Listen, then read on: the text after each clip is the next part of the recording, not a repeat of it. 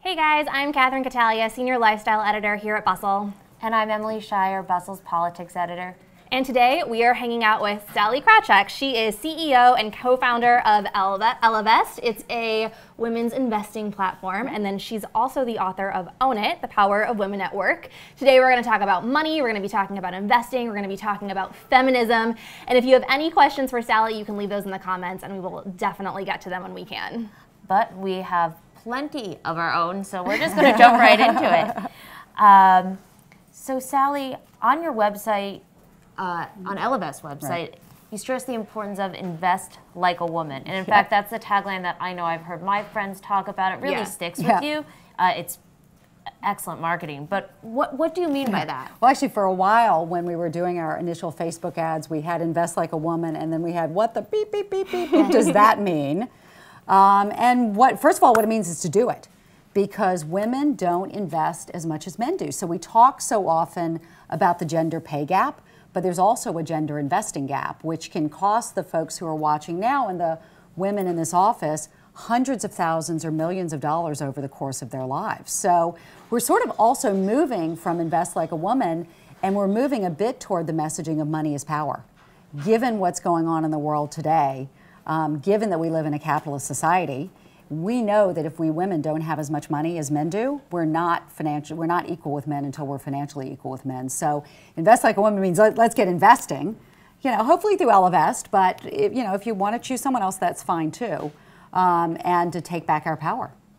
I have to say, as a person who is terrible with money just across the board. Investing is a really scary word to yes. me, and I'm sure that that's true for a lot of people who are probably tuning in right now. Yes. Why is that? How do we make it less scary? Because I think the industry wants you to think that, right? If they throw jargon at you, if it's a ton of different products, if they speak in war and sports analogies, which is for the guys, if we perpetuate this view that math is for boys, if we perpetuate the view that investing is for men, if financial advisors who are adorable, they're wonderful, but they're 86% men and their average age is in their late 50s or early 60s, if investing TV looks like NFL Sunday, if the industry symbol is a bull, which is a phallic symbol, what it says to you in every way is this is not for you.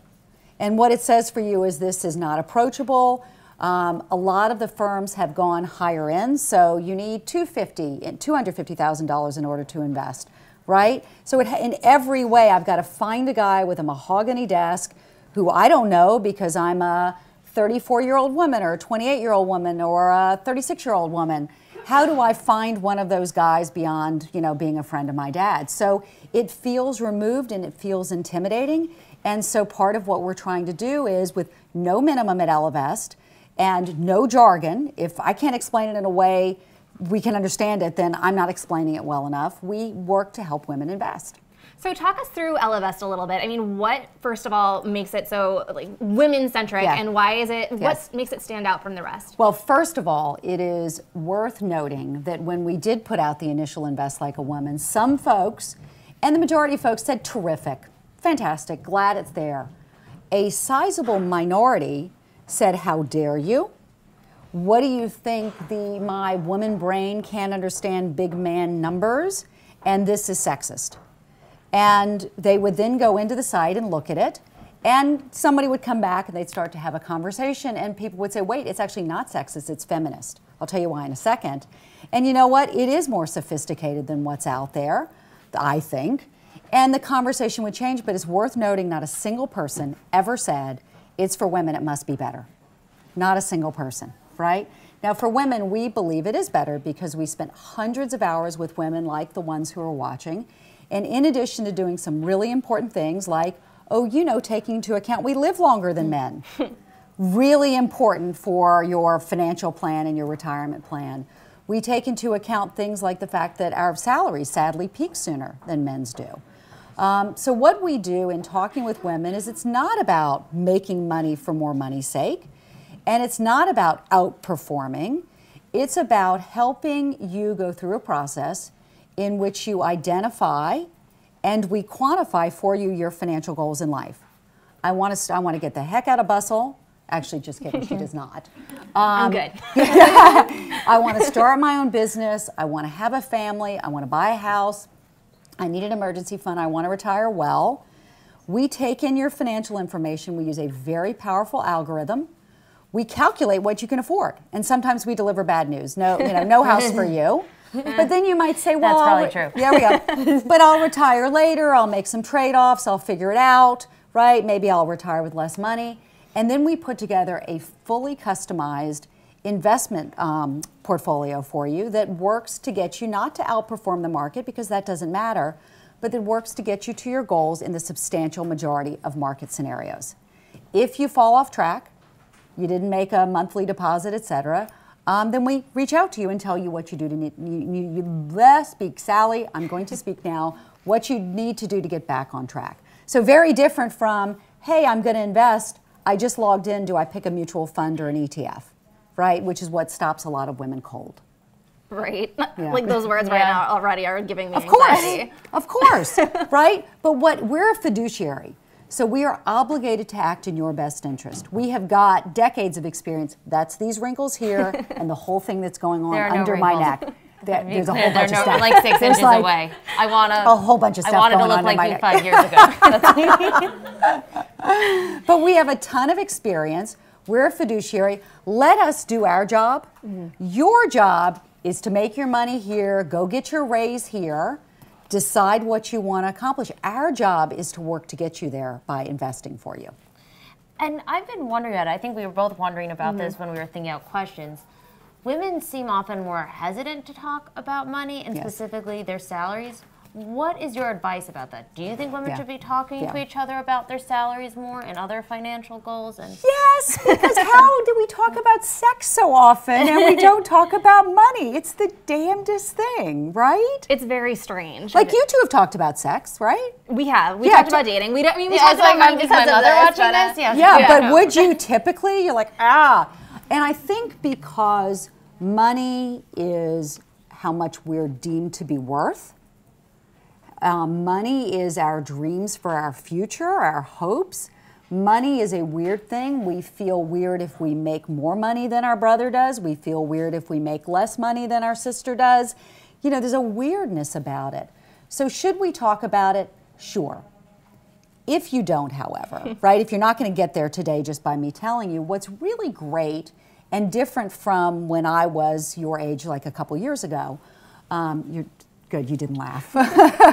when I was back in your generation, is when I would go in to ask for my raise, I had no idea how much to ask for, like none, right? Today, if the two of you don't talk about it, then you can go to payscale.com or getraised.com or comparably or hired or any of a number of sites such that you have much more information. So that when you're going in to get what you're worth, you've got resources and sources for it instead of just going into it blind. Well, in your book, you actually say that investing your money is the best career advice that no one is talking about. Can you unpack that for us a little bit? Okay, so first of all, here's what drives me crazy about some journalists who do not work at Bustle.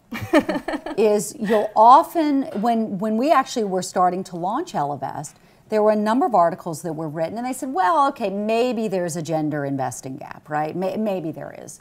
And maybe this Ellevest will work, but gee, by the way, the big banks have tried it and a couple other, and it didn't work, so it can't possibly work. I'm like, dude, you know, if it had already worked, we wouldn't, there wouldn't be an opportunity for us, but so be it. But they would sort of finish the articles with, well, okay, but until the real societal issue of the gender pay gap is solved, then we're, you know, then we haven't solved it. And that to me is like saying, you know, I broke my leg and I broke my arm. Until I fix my damn leg, you know, I'm going to let my arm mm-hmm. dangle uselessly from my Right. body, right? It just doesn't make any sense. You can do both. And the gender pay gap, again, can cost women hundreds of thousands or millions over their life, but so can the gender investing gap.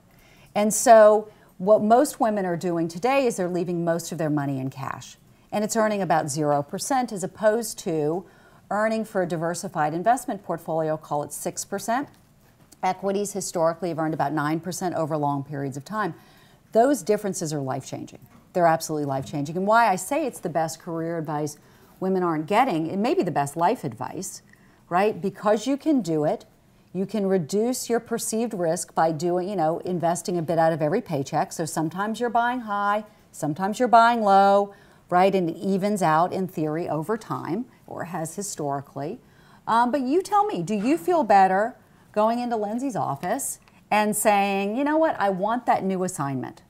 right? I'm, I'm sick of what I'm doing. I want that new one. Or do you feel better walking into her office and saying, I want to go overseas? Mm-hmm. Or I want to work from home on Fridays? Or I want to be mentored by the new person who's the hot shot? Do you feel better going into her office to quit because she's being a jerk? You're not, that I've heard of. not that, not to the best of my knowledge.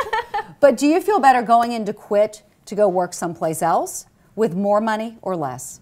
Right? Do you feel better starting your own business with more money or less? Mm-hmm. Do you feel better leaving the boyfriend or girlfriend who was so terrific five years ago and now is a complete jerk with more money or less? And so, investing, if you can make up that money that we're leaving on the sidelines today, it actually can enable you to play looser in your career because you know you've got more of a cushion behind you.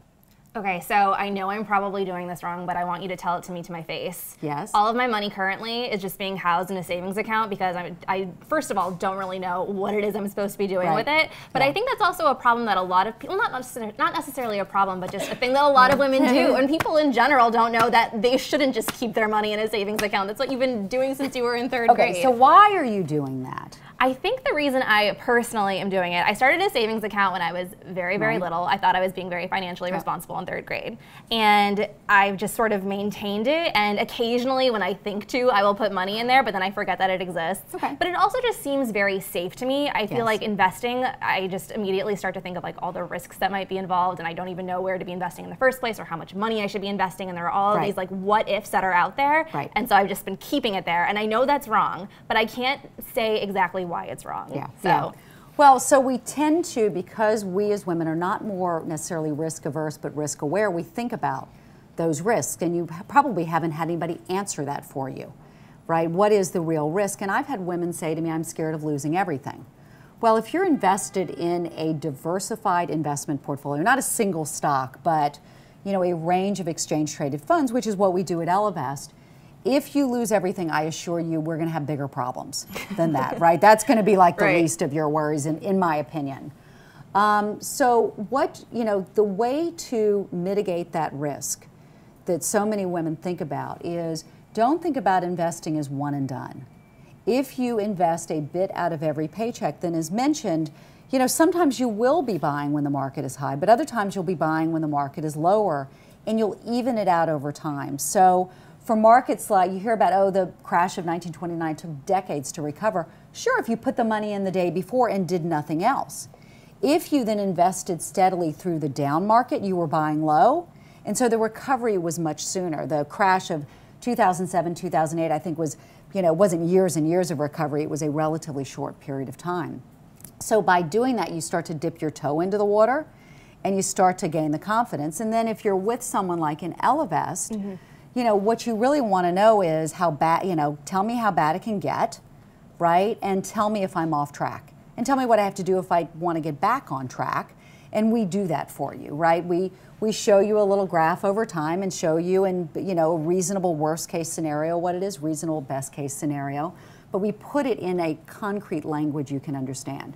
But let me do this for you just to just to upset you. Great. So Love I don't it. I have no idea how much money you make. But if you made eighty-five thousand mm-hmm. um, dollars a year, if you were doing what experts say, which is you should have fifty percent of your salary should go for needs, thirty percent should go for fun, and twenty percent should go for long-term investing and saving. All right, so right. you're doing that. You're putting that twenty percent in the bank account. You're not investing, and you wait ten years to invest, which you probably already did. You know how much that costs you a day? I don't want to know. I'm scared.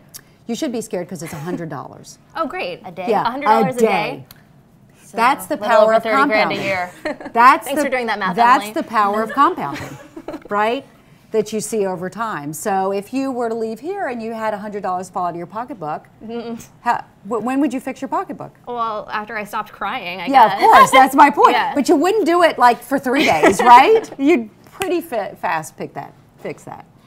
And you know, what I'm wondering as we're going through all of this, and something I've certainly thought about, and uh, my financial savings Yeah. approach is not so different uh, from Catherine's. Good to know. How much time would you recommend is the res- that I should responsibly allocate to investing? How much time should be part of my daily routine, weekly, monthly, something I check See, in a few this times a is the year? thing. Yeah. Because of all these myths that have built up around investing and because of the messages we get, we think it takes forever. So I was in Silicon Valley this summer and a really sharp woman said to me, I'm going to take off two weeks this summer to figure out investing. By the way, the guys, we love guys, totally love guys, right? Amazing individuals. They don't do this in general. The research shows that we women will say we need to take the time because we need to understand the jargon. Oh, the company asked me what my risk tolerance is. I need to figure that out. I got to buy the book. I need to understand the details. And so I'm going to put that time aside. The guys actually invest right through that. They are, we think I need financial education. We do, but so do they, but they invest right through that. And so what we've built at Ellevest is something where we've seen women go through the process in 11 minutes, 15 minutes, 30 minutes in general. I mean, the time it takes to do a load of wash. And then how much time should you invest in it? As much as you want, you know, but you can come and check in it. Am I still on track? Yep, I'm on track. They didn't reach out to me, so I know I'm still on track, right? And, and you can just let us, as a fiduciary, take that responsibility. Well, Yeah, for those of you who are just tuning in, we are talking to Sallie Krawcheck. She is the co-founder and CEO of Ellevest, and we are talking about money, feminism, answering all your financial questions. Leave those in the comments, and we'll get to them. should we uh, should we talk about that that ad campaign? the fantastic ad campaign that probably many of you watching at home already know. Um, it is the shadowy picture of our president uh, that says, Women of New York, cover your, I can say this, ass, but ass, ass written as dollar signs. Um, it's something that stops you in your track because we were just talking about it. There's one right near the bustle office, and we were all talking about it. Uh, so we would love to hear a little bit more about how that campaign started. How did you come up with the idea? When did you come up with It the involved idea? alcohol. As you great not be at all surprised to hear. Um, we were actually um, in my home one evening, a group of us. We were drinking, so, you know, a nice Chardonnay, and we were talking about what we were hearing from. We call her L, right? The the woman who is looking to invest, the woman who is, you know, 28, you know, up to 42, who's sort of generally in our market, and particularly in New York, and what she was feeling as we were coming to the end of the year. And while there are many folks in many parts of the country who are, yes, score Trump, um, what this woman was feeling was concern. You know, the sense that these, this march of feminism had stopped short. We've seen it in politics. We also have seen it in business, as I talk about in my book. And there's a sense of how do I take my power back? And so we've been playing with the idea and the thought of money is power, right? Um, and that is a way, whether it's investing, getting that raise at work, starting your own business, using all the technology that's available to us to know what our worth is, to close our gender money gaps. Um, the, the idea of money and power, the environment we're in today, all sort of coalesced around this, this issue. So um, I have a very talented team. They put this together, they sent it to me. I went to sleep and said, no effing way are we doing this. I mean, we're just not going to do this. And I woke up and I'm like, oh, what the hell? Let's, let's put it up and start this conversation, you know, with the women in the neighborhood about money and power and the times that we're in. And, and it, it, it started a conversation. Yeah, I, would, I mean, it's definitely jarring just Yeah, walking down the street. What kind of feedback have you gotten about it? Um, we uh, a lot, as a matter of fact, and it was controversial, which and it was it, it evoked an emotion, which is what we were looking to do. Um, and look, some of it was okay, not funny. Um, it was funny before the inauguration. We got some not guys, not funny. And post the inauguration, as some of the executive orders started to come out, it was interesting because then the groundswell we could really start to we could start to feel it. Uh, but we had pe- people stopping, doing selfies with it, you know, posting them on Instagram, sending them to us. It really seemed to have struck a nerve. Definitely. Yeah. And how do you navigate that? We were talking about it a little bit before the Facebook Live, but the world of politics, when you don't want your a woman who's a Republican to feel like she can't go to Ellevest? Right. And how how do you navigate kind of the financial world when you don't want it to become necessarily a partisan issue? What are the thoughts that go through your head, even just from a marketing perspective? Well, I understand that. Um, and as we were talking about before, I think it's almost impossible to separate the concept of money and women and feminism. Because again, if money represents power in a capitalist society, then it is by nature a feminist issue. Um, that we are not today financially equal with men, and so we are not today equal with men. We do not today have the degrees of freedom that men have in our lives.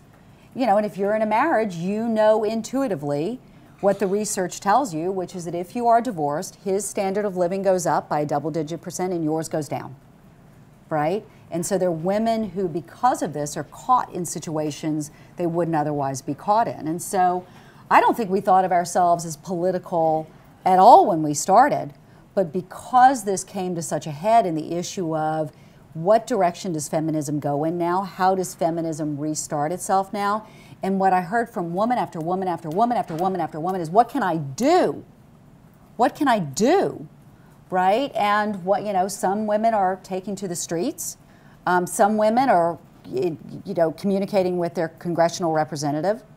And what we're hearing again and again is I want to take care of myself and take care of other women. The, the um, surveys we've done have shown something like 80 plus percent of professional women who we've surveyed want to take an action. And a real action is investing, taking care of yourself, getting rid of that raise, making yourself financially stronger. So I don't think we can get away from it, quite frankly. Yeah. So You've talked about how women's success in business is essentially the fourth wave of feminism. Yeah. We just discussed that just now. Yeah. You even have an entire chapter in your book called How the World of Work is Changing. I just am curious to get your insight. How do you think things are changing right now? I think especially um, a lot of women feel like we're kind of taking a step back right now. Yeah. yeah. Um, and I just, especially given the political atmosphere, I mean, I think we need something to kind of hang on to and be excited about. Well, here it's the one hand, the other hand. So on the one hand, the research is clear that when we women um, are part of diverse teams, when we're on teams with guys in senior leadership positions, companies perform better, not by a little, by a lot. This is true of startups, where first round capital has said the returns on their startups with women in leadership positions are 63% better than men only. We see it higher returns on equity, lower risk, greater innovation, greater employee engagement, greater um, consumer engagement. I mean, it's across the board. And yet we've stalled out, right? So we make them better, but the progress has stalled out. In my old industry, investing in Wall Street's gone backwards. It's crazy. So there's this, oh no. Here's the positive part of it. One, women are looking to take action. But two, the business world is changing and changing rapidly. We talked earlier about asking for the raise. Back in my day, you know, I didn't know what to ask for. Now we have all sorts of resources that can triangulate for me what I'm worth. Back in the day, if a company didn't treat me well and I wanted to go to another company, you and I would have to go out for a drink and I'd be like, hey, what's it like at Bustle? And you'd be like, yeah, it's really cool. And then I'd have a sample set of one and I'd come mm-hmm. work at Bustle and maybe you were right and maybe you weren't. Today, we have got all sorts of resources one I heard about the other day is In Her Sights, which is crowdsourced culture reviews from 35,000 women. I can go to Fairygodboss and compare the parental leave policies across companies. So all of a sudden, I can go to companies with reviews, information, much more information. So I've got power. Power when I ask for the raise, power when I go to a new company, and power to start my own business. So Ellevest, I couldn't have started 10 years ago or even five years ago. But, you know, but now we've gone from, I used to have to buy all the servers to the information can be in the cloud. I used to have to rent long-term office space. Now it can be WeWorks. I used to have to go on business trips. Now it can be video conferences. You know, it used to be you had to hire a whole HR department. Now it can be Zenefits or one of the others. Right? I mean, the, the opportunity to take down the cost and start businesses is really dramatic. And so what what I think is going to happen is, is either now companies will get it, yeah, they haven't before, or they'll be hollowed out because we will have the information to take the action and we can start our own things, which is amazing Because if we start our own things, we're building the companies at which other women want to work. And we're building companies that better serve women, right? You know, no one was going to build Ellevest but a woman. The guys have been trying it for a long time and they, they've failed again and again to come up with the right offering. And so I think we're just going to make the world a better place. Well, you touch on a lot of issues with that, one of which is that as much as Ellevest is about helping you to invest better Yeah. and to make more money over your lifetime, it's not necessarily all about money. You brought up how a lot of not just women, all employees care about the culture of a company, Yes. and millennials care about the culture of a company a lot more, and other benefits. And so, from your perspective, as someone who has held you know, many different top roles in some of the biggest corporations in the world, let's say you go in for that conversation out the raise Yeah. and you don't get it, and let's say Yep. it's because you think you know, there are legit reasons, either it's a rough time for the company, Yeah, what yeah, have you. sure. What is your advice? Because I think a lot of. I know a lot of my peers wonder about this. What are the other things you should think about and negotiate Yeah. for to make that experience question. work? And that's one of my issues with so much of the literature about asking for raises. It's just yes or no. And then they say no, you're like, oh no. Um, ask for, come, with, come in with 10 other things, right? Ask, you know, to be put on the special project that all the hotshots are working on. Ask to be sent to coding class and have the company pay for it. Ask for an executive MBA. Ask for time off to go to coding class if the company won't pay for it.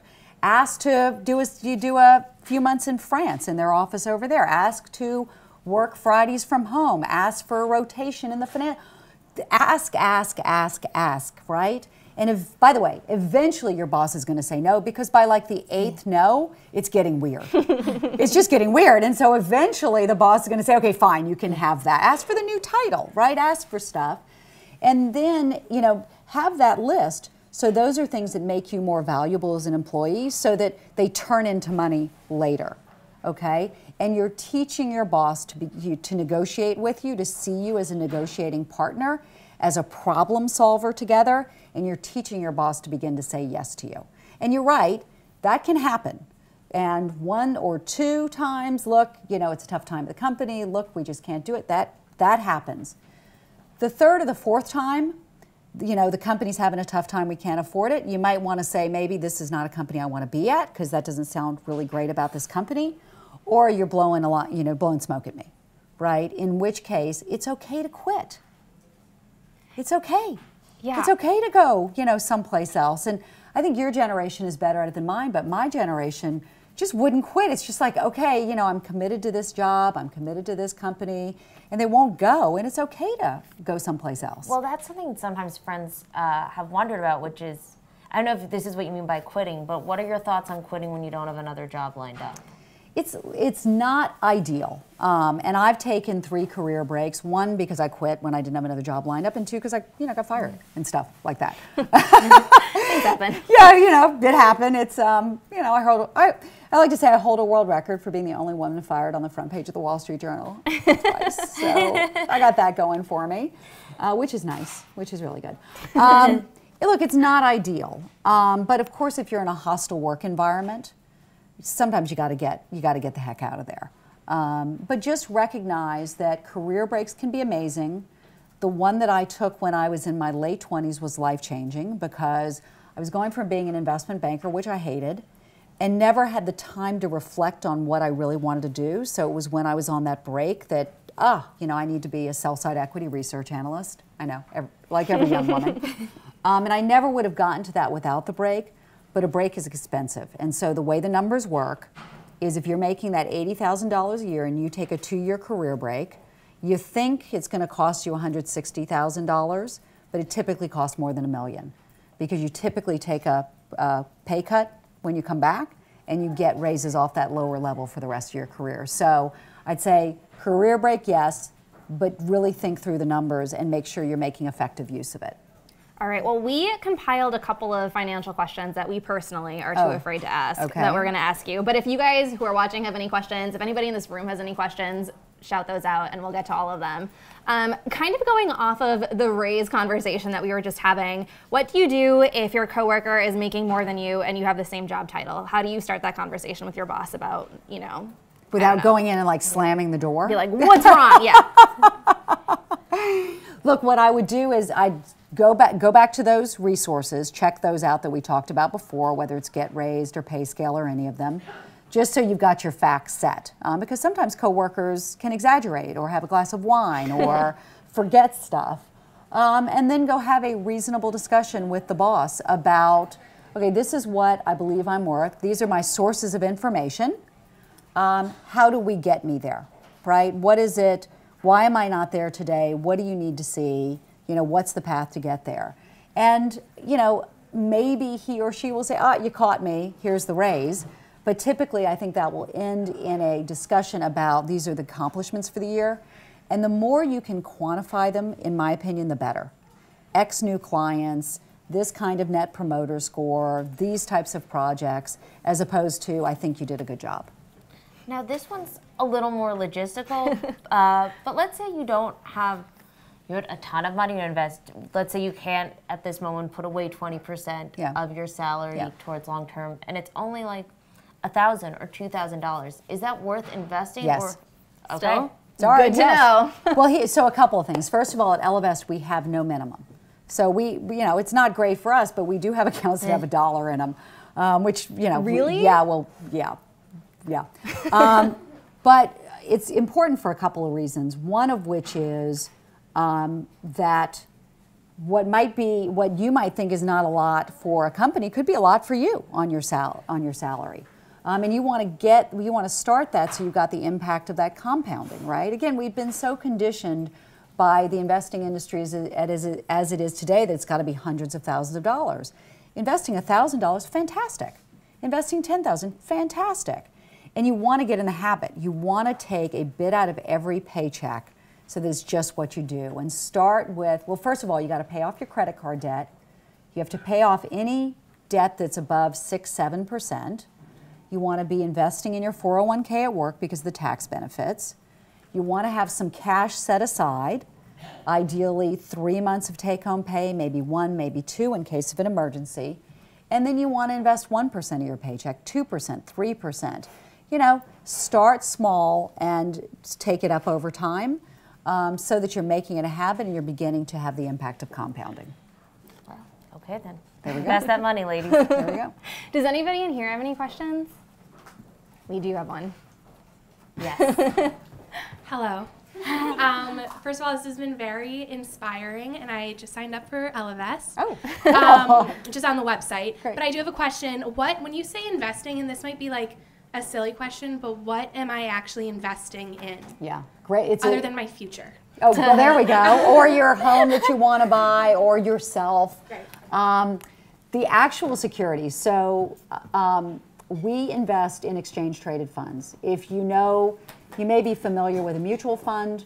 The, these, both of these products tend to be aggregations of securities. Typically, it could be stocks, can be bonds, etc.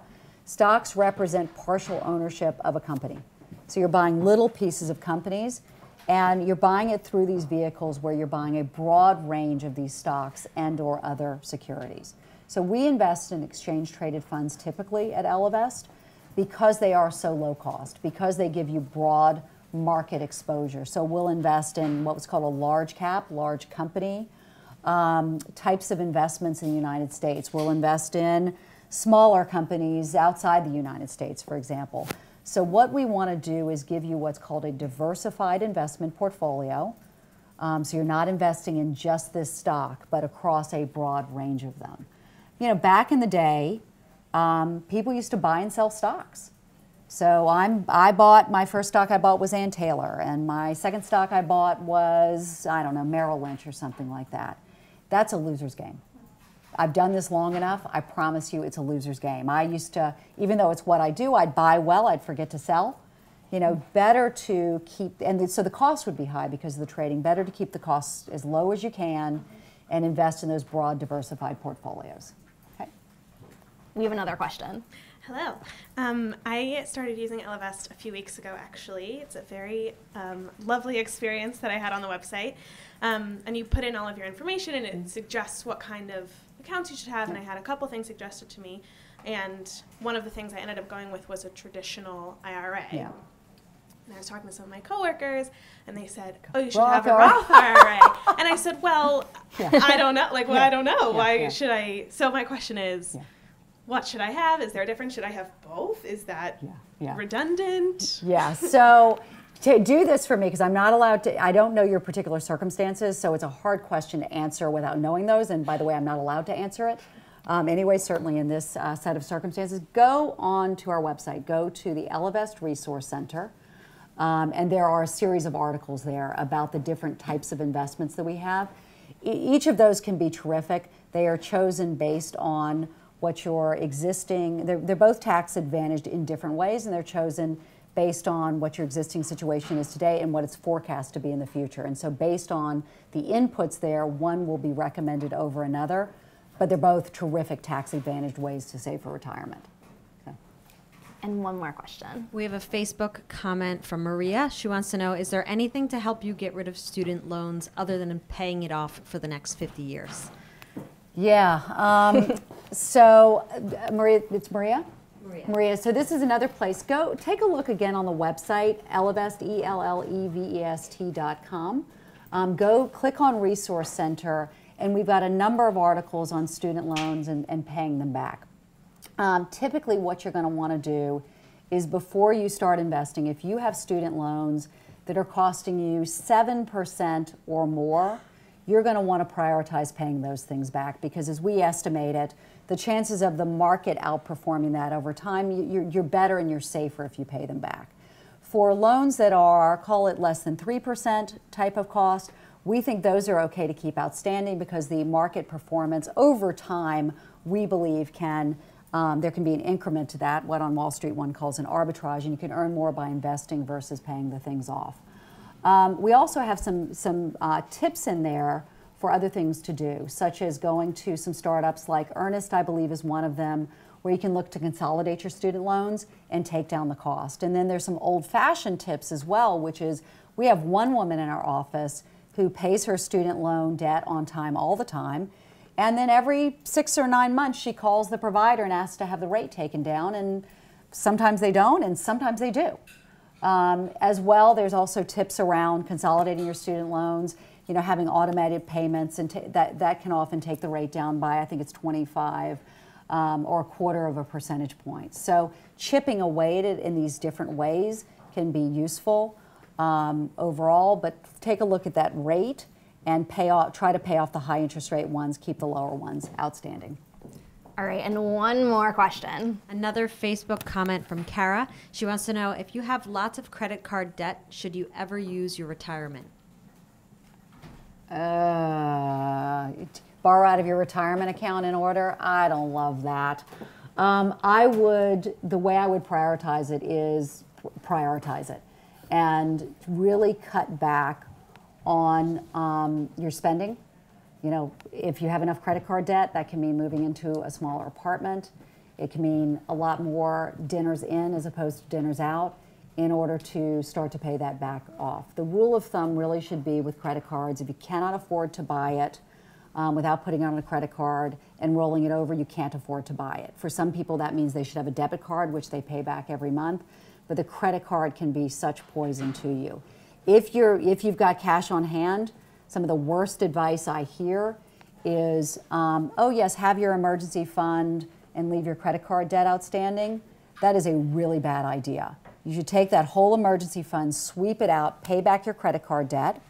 What if I have an emergency? Then run up your credit card again, is the, is the short answer to that. But you know, the discipline of saving for retirement and putting money in what's tax, a tax advantage savings vehicle, uh, particularly, by the way, and I don't know your personal circumstances, if you have a match at work, that means you're getting the tax advantage plus you're getting free money.